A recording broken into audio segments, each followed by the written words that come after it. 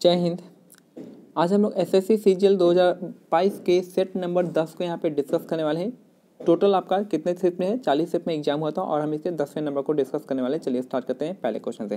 पहला क्वेश्चन कह रहा है कि भारत में कौन सी पंचवर्षीय योजना मुख्य रूप से गरीबी हटाओ, रोज़गार के अवसर को सृजन करने और अन्य उद्देश्यों के साथ उत्कृष्ट कृषि उत्पादन पर केंद्रित था तो ये था आपका पांचवी पंचवर्षीय योजना हो जाएगा।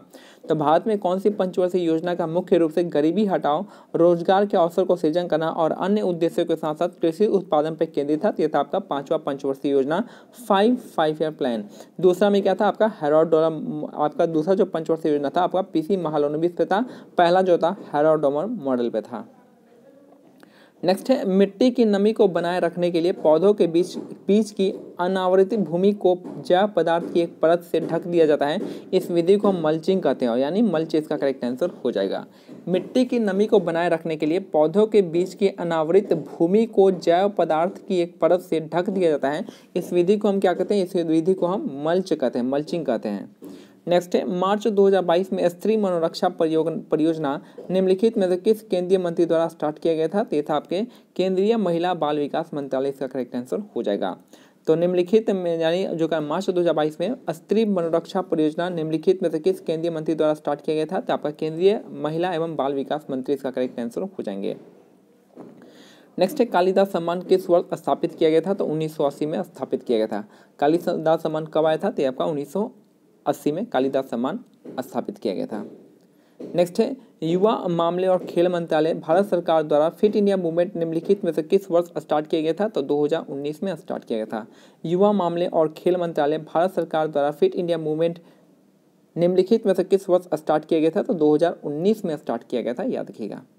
नेक्स्ट है किसने बड़ी संख्या में तत्वों के एक्सरे को स्पेक्ट्रोस्कोपिक अध्ययन किया और दिखाया कि किसी तत्व के उत्सर्जित एक्सरे की आवृत्ति परमाणु द्रव्यमान के बजाय परमाणु संख्या जेड से संबंधित होती है? तो ये हो जाएगा हेनरी मोसले ने बताया था।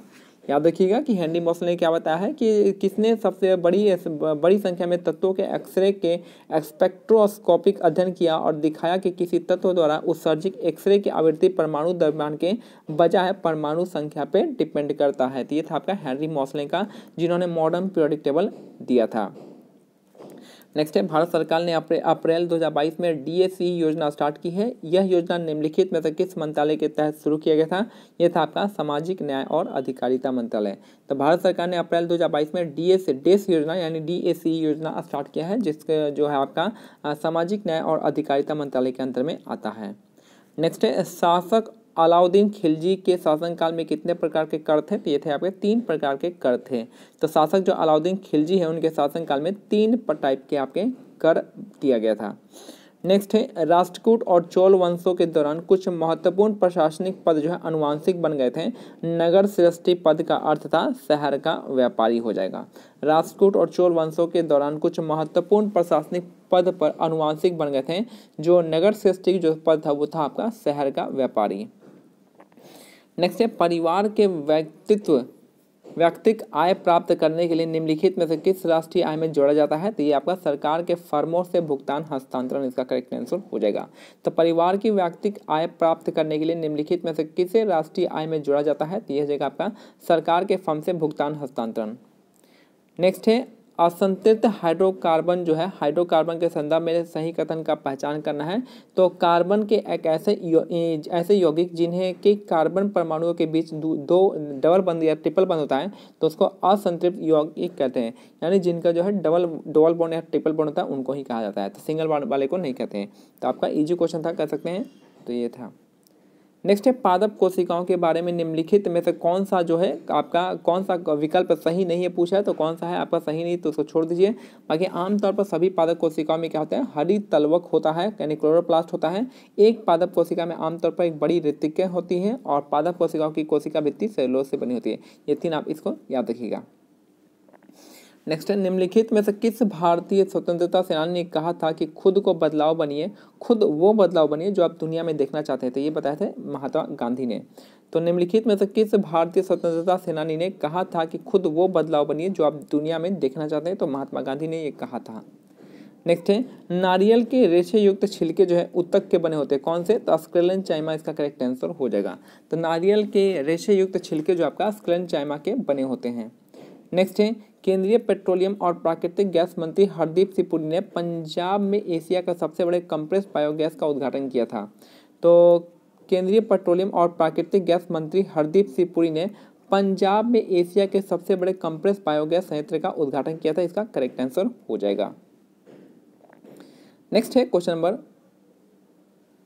question number sixteen कह रहा है कि निम्नलिखित में से किसके जन्मदिन के अंतर्राष्ट्रीय अहिंसा दिवस के रूप में मनाया जाता है? तो महात्मा गांधी इसका करेक्ट आंसर हो जाएँगे।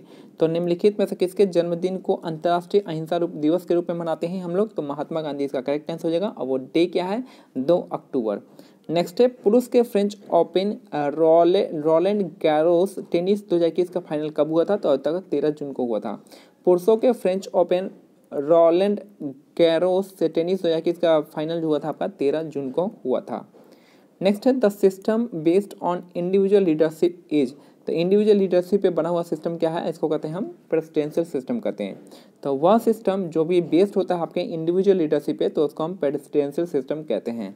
नेक्स्ट है, जाट, जाटिन किस भारतीय राज्य का लोक नृत्य है? तो बिहार इसका करेक्ट आंसर हो जाएगा। तो जाट, जाटिन जो है, किस भारतीय का लोक, भारतीय राज्य का लोक नृत्य है? तो बिहार इसका करेक्ट आंसर हो जाएगा। नेक्स्ट है, निम्नलिखित में से कौन सी नदी जो है, पंचनाद में शामिल नहीं है? तो सिंधु नदी इसका करेक्ट आंसर हो जाएगा। तो निम्नलिखित में से कौन सी नदी जो है, पंचनाद में शामिल नहीं होती है? तो सिंधु इसका करेक्ट आंसर हो जाएगा। नेक्स्ट है 2011 के जनगणना के अनुसार निम्नलिखित में से किस राज्य की साक्षरता जो है, दर से अधिक है तो केरल राज्य के सबसे अधिक है और बिहार की सबसे कम है। तो 2021 के 2011 के जनगणना के अनुसार निम्न में से किस राज्य की साक्षरता दर सर्वाधिक है तो केरल इसका करेक्ट आंसर हो जाएगा। नेक्स्ट है लोकतंत्र के दो सबसे आवश्यक अधिकार कौन से हैं तो समानता और स्वतंत्रता। लोकतंत्र के दो सबसे आवश्यक अधिकार है, समानता और स्वतंत्रता है। निम्नलिखित में से किसने अंतर्राष्ट्रीय संगीत में अपने योगदान के लिए ऑस्कर और गोल्डन ग्लोब पुरस्कार जीता है? तो ए आर रहमान, इसका करेक्ट आंसर हो जाएगा। तो निम्नलिखित में से किसने अंतर्राष्ट्रीय संगीत में अपने योगदान के लिए ऑस्कर और गोल्डन ग्लोब अवार्ड जीता है? तो ए आर रहमान, इसका करेक्ट आंसर हो जाएँगे। नेक्स्ट है, मुगल शासक औरंगज़ेब की मृत्यु किस वर्ष हुई थी? तो 1707 में हुआ था। मुगल शासक औरंगज़ेब की मृत्यु जो हुई थी आपकी 1707 में हुआ था। नेक्स्ट है लास्ट क्वेश्चन है आज का, कि पर्वत जो यूराल पर्वत होता है, एशिया को यूरोप से अलग करता है। यूराल पर्वत जो है आपका, एशिया को यूरोप से अलग करता है, यूराल पर्वत। तो ये हमारा आज का सेट जो है कंप्लीट होता है। मिलते हैं अगले सेट में। तब तक लिए क्या करना है, टेलीग्राम चैनल का लिंक जो है डिस्क्रिप्शन में दिया गया आप उसको ज्वाइन कर सकते हैं और आप इन पीडीएफ को डाउनलोड कर सकते हैं। तब तक लिए जय हिंद, जय भारत, धन्यवाद।